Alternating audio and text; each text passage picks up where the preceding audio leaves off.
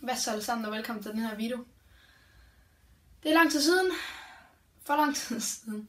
Og... Nå. Grunden til, at jeg ikke filmer over i studiet lige nu, det er fordi, at øh, jeg simpelthen bare lave en intro, fordi i dag der er jeg tænkt, at vi skal lave nogle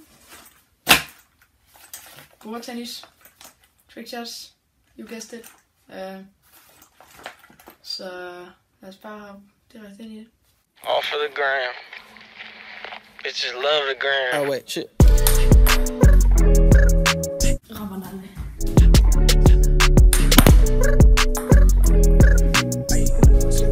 Ain't front on me, no brakes. Roxanne, Roxanne. All she wanna do is party all night. Goddamn, Roxanne. Never gonna love me, but it's alright. She think I'm an asshole.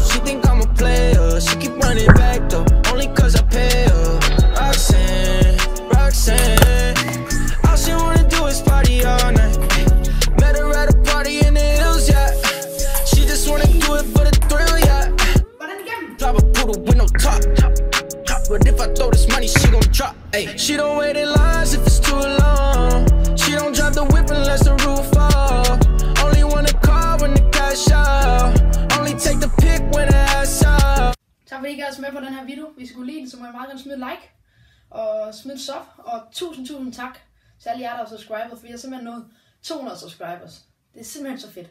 Øhm, og så må I gerne bare huske at trykke på den klokke der. Og så ses vi vel nok en anden gang.